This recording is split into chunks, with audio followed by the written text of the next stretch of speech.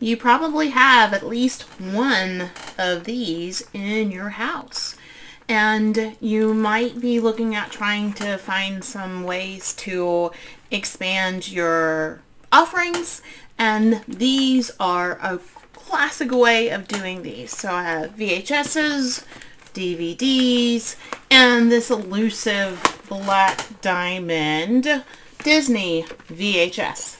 So in this video today, I'll talk to you about what you should do with these things. Are they worth selling anymore?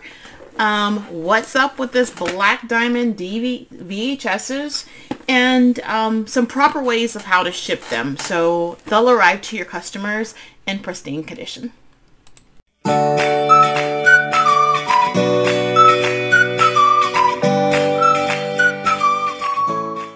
Hi, I'm Jocelyn. I am the owner of Southern Girls Needs and I am an online reseller for eBay, Mercari, Etsy, Amazon, Walmart, and all of those sorts of things. And I like to just provide people some information about how to get better at reselling, give you some insights on what it's like, how to how I resell and things of that nature. If you like this video, please like and subscribe to my channel. I'm going to talk to you about the best to the least, I would say, what's going to sell you a lot faster. And when I first started to sell DVDs, it was about a year ago. And I remember I had so many of them. I told my friend, I said, I'm going to start a YouTube channel called PhD to DVDs because I do have a PhD. And I had sold so many of these darn gone things. And what was nice about it was when things started every now and then you'll have this ebb of flow where things will go really well and you'll sell a lot of something and then things won't sell very much of I always had DVDs because I had so many of them and if you're looking at the best way to do it is start with any DVDs or VHSs, Blu-rays, whatever you have in your house, start off with those. But if you're thinking about a price point in which you should get them at in order to make some decent money, I bought a whole mess of them from this one lady off of Facebook, just a local pickup. She had brand new ones. She had used ones. They were all in excellent conditions. Um, every note, no scratches on them. There was only like one that didn't have a DVD had missed out on. But I swear I got about 200 of them. It, it, it was insane amount. And I calculated them and they were 10 cents. So if you're looking at sourcing the cheap, the cheapest, the better. So try your best to get them really cheap. 10 cents was pretty good. Now, if you've already have them in your library, you've already got a sunk cost into them, then um, that's something to think about. But if you're going out trying to get them, get them as cheap as you can. 10 cents is great. I would probably go no higher than 50 cents for a used or a dollar for a brand new one. So let's talk about these. What's better?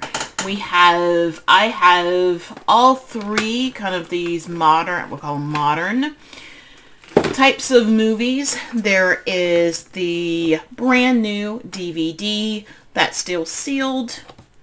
That's the best one to get. If you can get brand new ones, now this doesn't mean that they're going to sell.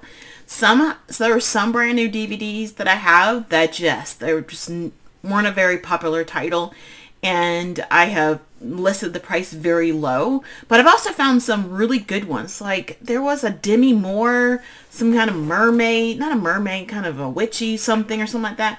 It was crazy. Like I saw the price. It was like 20 something dollars. So there is no way. Um, but apparently it was out of print. And if you find one that's out of print, that's even better. So if you're searching for and you're checking the comps, it'll say like OOP, which means out of print. So if you find one, whether or not it's used or new, and it's out of print, definitely get them. But this is the creme de la creme DVDs, brand new, sealed, still in the original package.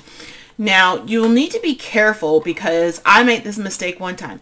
They're easy to find at Goodwill. I'll just go through and start looking and double check to see which one has a seal on it. And I grabbed one and then I got home and I saw at the bottom it had um, that repackaged it where it was like used. I said, oh, doggone it, you know. So just be real careful about those. So these are the best ones to get.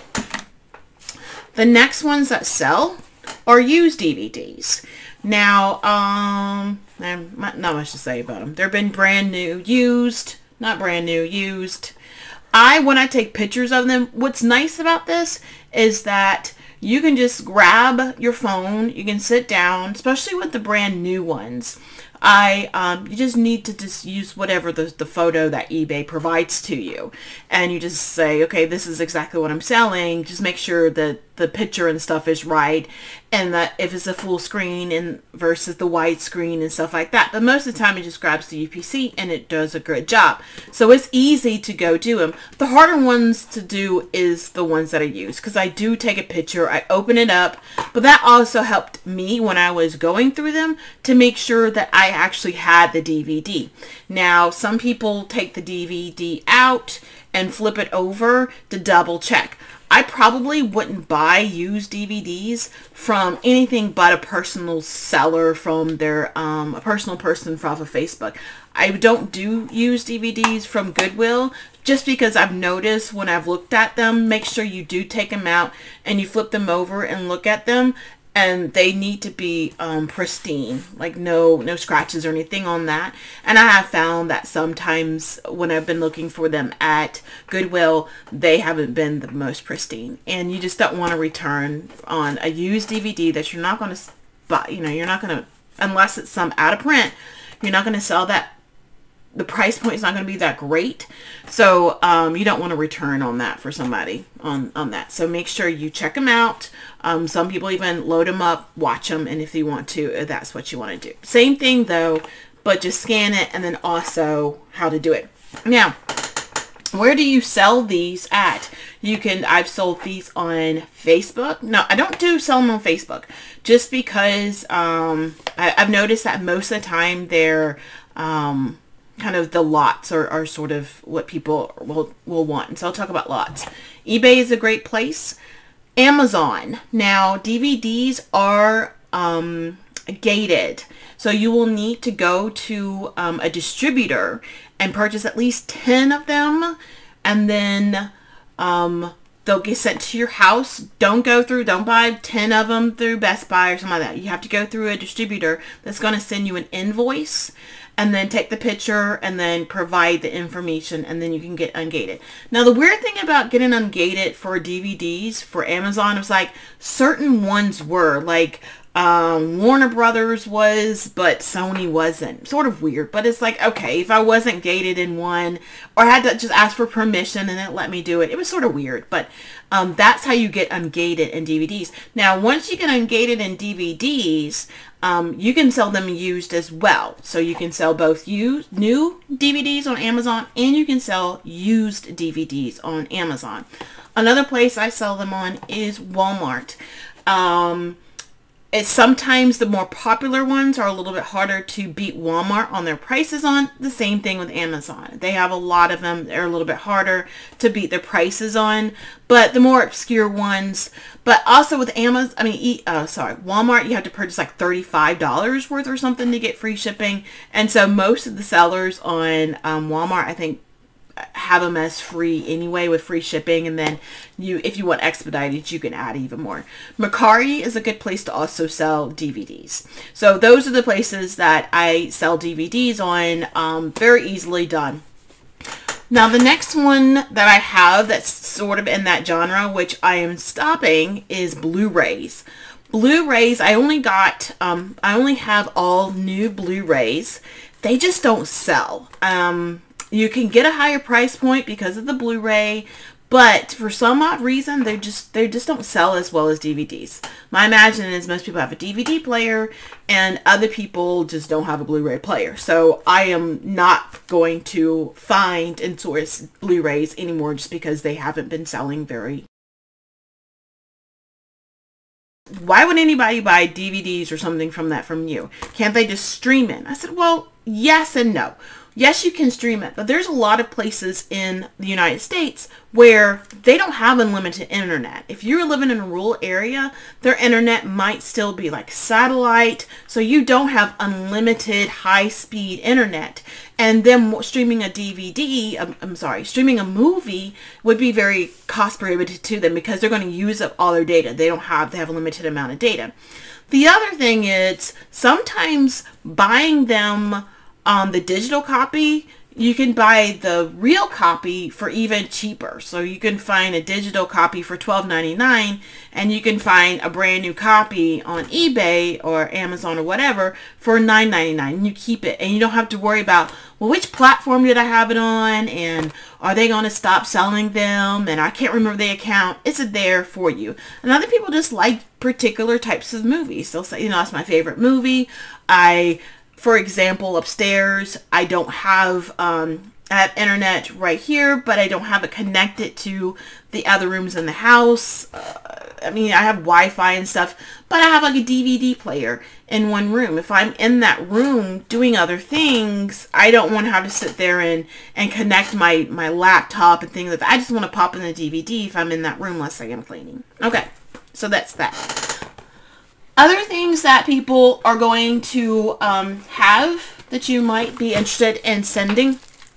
CDs. CDs still do pretty good. Um, the more popular the ones, um, if you have some in your own personal collection, that's good. But um, CDs are also, people still buy CDs. People still have cars with CD players. The only thing I don't have is an 8-track. If I did have 8-track, I would be pretty set. Another thing I have been noticing a lot of is more people selling the disc only. And this is usually a person who, and I, I did it as well. So I pulled out the DVD, I put it in one of those, what was it like, Logitech, one of those bags, one of those organizers, and threw out the case because I, you know, I was like it was taking up room. I could put 50 of them in there versus having stacks and stacks of them. Um, so I've been noticing a lot more people are selling them with just the single disc. And I would imagine that they don't have the case. Now you can go and buy the case uh, and just the CD case offline off of any sort of um, any sort of place that sells the cases. You won't have the picture and the cover or anything like that, but you would at least have the case. One thing I have been noticing, those people that sell them as a single, they're doing it, um, I, it's, I, I think it's some type of package, um, U.S. Postal Service, but they'll say disc only, no tracking. And if you're just starting out, I probably wouldn't recommend that because part of your metrics is the tracking and how often are you adding tracking to your thing. So if you want to, just go ahead and, and focus on the ones that you might have the case. But if you, if you don't have the cases and you want to do it, it might be just a good idea to find at least just, just a case and send them out with that as well.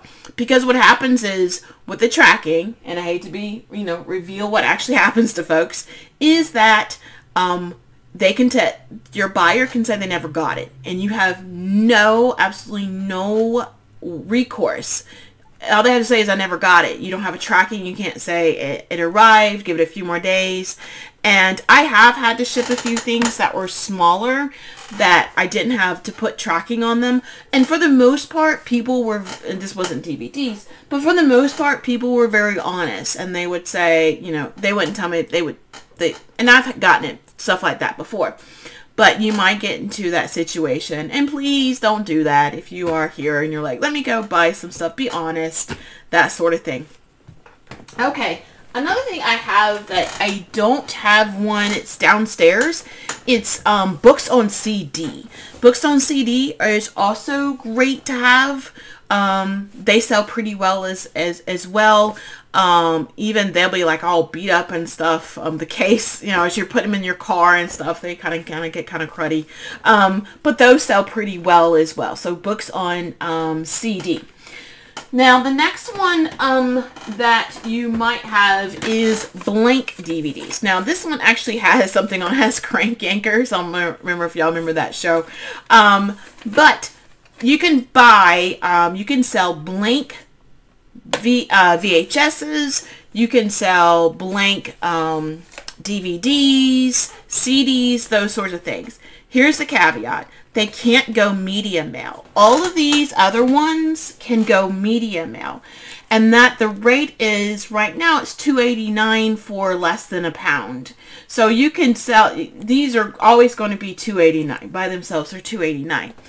Now, once you start getting into more of the heavier boxes of, you know, the little ring cases of DVDs, CDs, they're going to get heavy. And they're probably going to be almost over a pound, if not close to a pound. They cannot go DV, they cannot go media mail because there's no media on it. So those have to go first class. Another thing that sells pretty well besides the Blink ones is the cleaner. So a VHS cleaner, I remember I had one, I listed it, and I think a couple days later it sold. Just that little thing, you put it in and it cleans the heads on those, on the VHSs. Another thing that does, that I still sell, is um, cassette tapes, right? So this is a new cassette tape that I have Of course, this is sort of like uh, kind of obscure sort of thing, but if you have cassette tapes that are, or D, or CDs that are, you know, popular musicians and things of that nature, you can. People have cars, they still have cassette tapes in them. People have systems in their house that still have cassette tapes. People still have cars that have CD players on it. So don't just think like, well, my car, you know, I don't, I just have a satellite. I don't have a CD player anymore. Lots of people still do. But with VHSs, I don't find they sell very well. I've got this Orson Welles Citizen Kane still sealed. This is probably one of the first things I have ever listed, and I can't get this sucker sold for anything. So, um, but I heard um, people said like old... Uh, monster and horror movies they sometimes do but that's just hearsay you know. I don't have them. I don't haven't sold them so i can't sit there and say yes all the monster ones i have i don't have those. Okay the next one that you i if i'm in these groups and you'll get a new seller that comes on and they have this question about this one which is the black diamond disney vhs's and I checked for this one and it was Aladdin, Black Diamond. Um, what's special about it? I darn don't know. But it's the it's this right here. So when you hear people say, you know, what's Black Diamond? This is it. It's got Black Diamond on the side. Um, something about it's the original copy or something like that. Devil if I know. But you'll see some that are like $500, $5,000 and people will first start off and they'll say, "Oh my gosh, I got this this this D, Disney VHS," and we said, "Check the solds. You need to check what sold. What someone has it listed for is something completely different." And I think I saw that. I mean, some people still have these brand new sealed, and they're selling them for 10 bucks, 10, 20 bucks. I think something like this might be a, maybe $5 or something like that. So they are not sorry guys, Black Diamond, the um, Disney movies are, are not what they uh, perceive themselves to be. Okay, now let's talk about how to ship them. And there's a couple of ways. Well, if it's a VHS or something like that, you know, um, or any of these sorts of things, um, don't ever ship any of these things just wrapped up in um, um, bubble mail. And I saw somebody do this the other day. They were a big hard seller and they said, yeah, I sold this DVD. This is what I sold. They did like this. I got a little bit less. Put it up together. And they threw it in a poly bag. Don't do this. The reason why is because these things aren't very, they're pretty sturdy, yeah, but they, they've got a little give to it. So there becomes, and some people really want the case in pristine condition. Someone may even mention that. They were nice enough when before I started doing it this way, was they said, you know, I it, got, it came warped and and they said you know just want to let you know just you might want to package it a little bit better and i said thank you so much i really appreciate it so don't do that don't just throw it in here and send it off for VHS, I mean for DVDs, there are these DVD mailers. Um, they are little styrofoam, not styrofoam, um, cardboard. They're cardboard, and they fold up really nicely. It takes just a minute. You just throw in your DVD into it,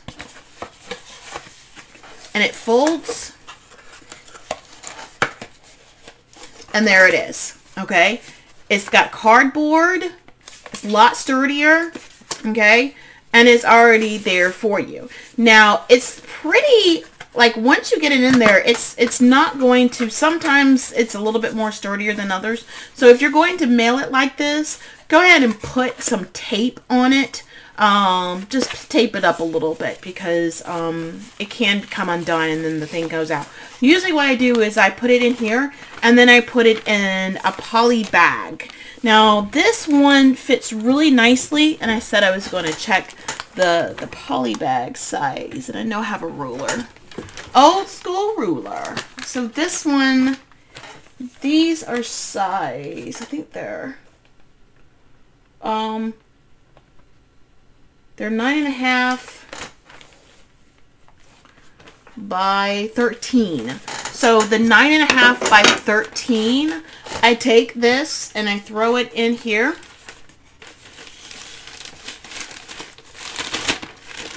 Fold it up.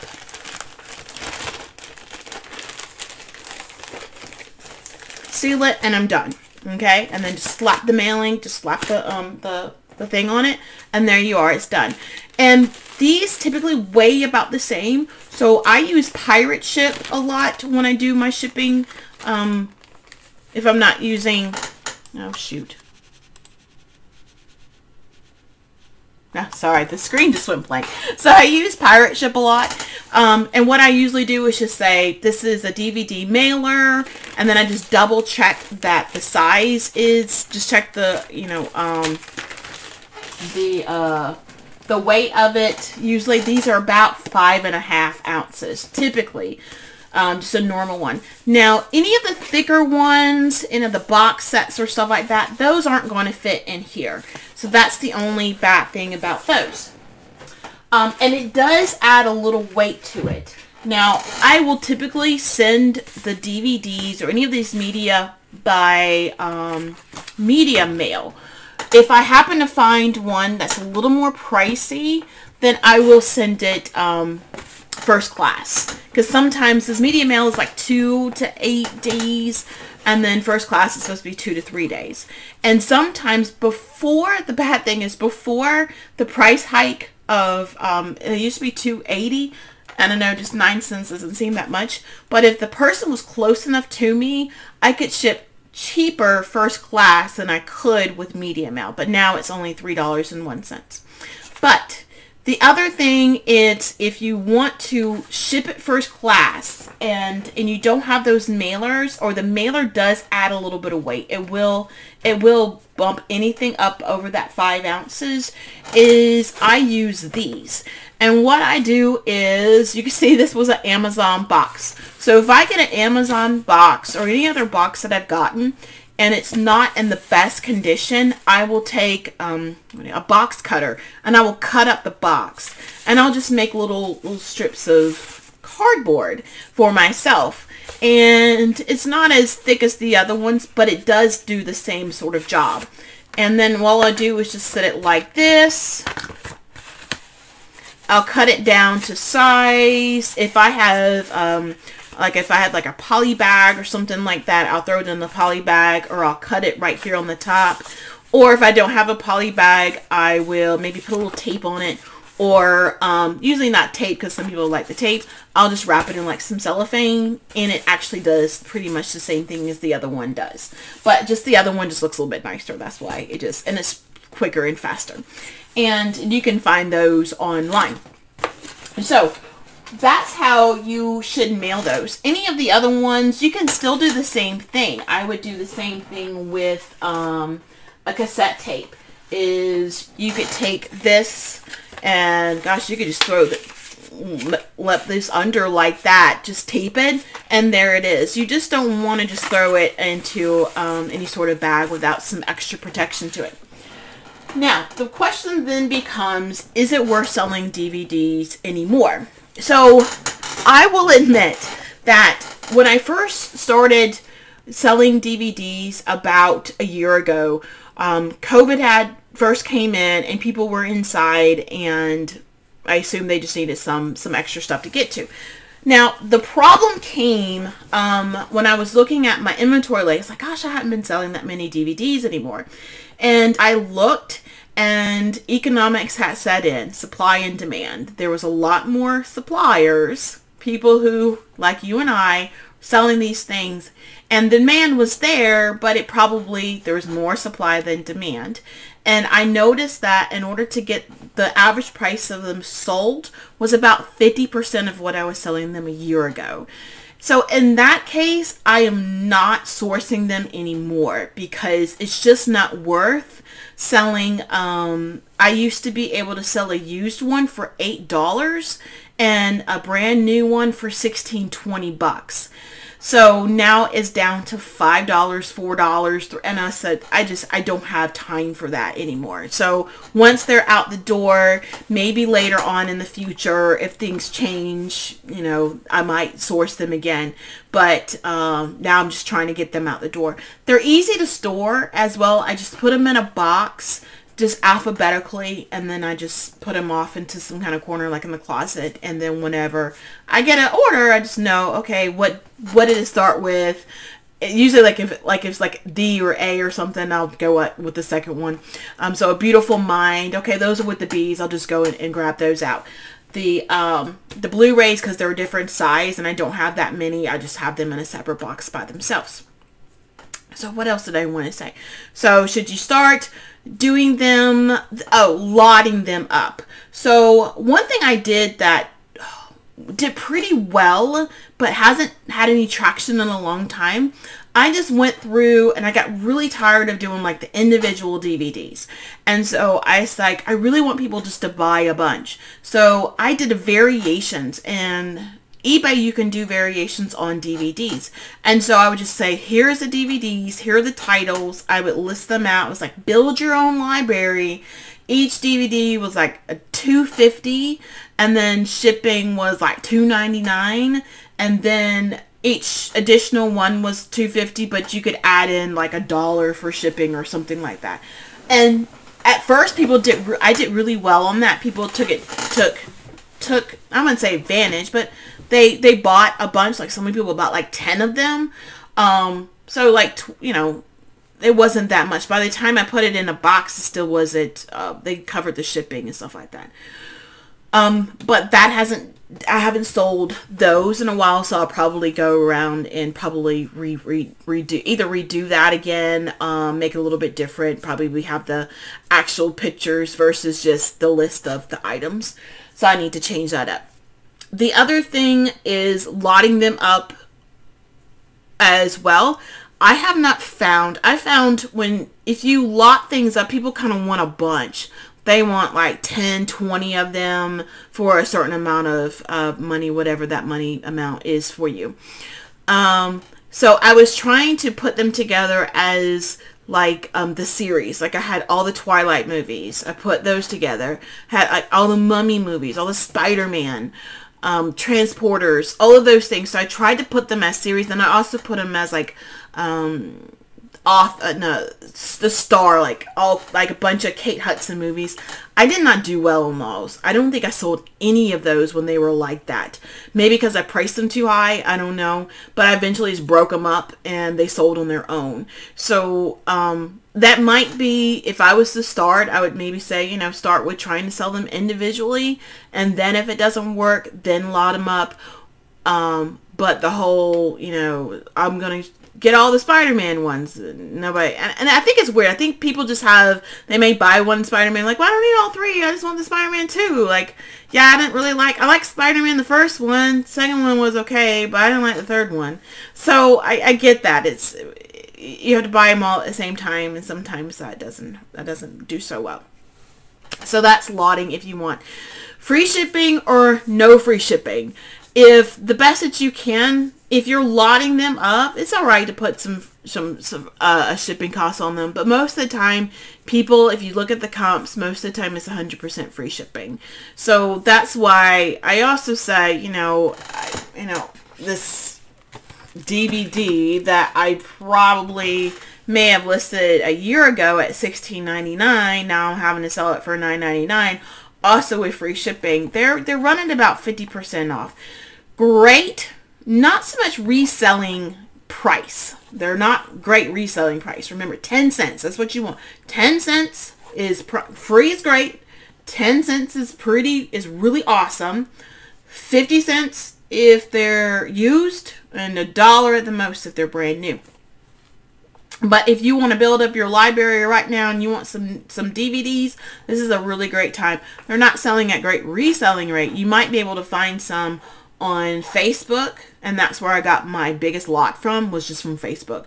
Um, so my local but you do want to look to double check to see if they do have some new ones because uh, I got a mix of new and used. So make sure that you do get some some new ones in there that you don't just get all used because they're just the pricing on them is pretty pretty low. Um, but unless they may have some you know some really interesting interesting ones that sell at a little bit of a higher price.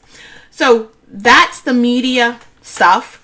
I hope you um, got some good information. Good luck on selling them. Um, feel free to uh, put some comments in there um, and let me know how you um, feel about DVDs, whether or not you are um, doing a good job, not like I'm doing a good job, but if you are actually selling them, sorry, I'm kind of looking around looking for, looking for something. Um, if you're selling them or anything like that, if you're if things are going pretty well for you, that would be really great. Um, thanks for watching, and I'll see you next time.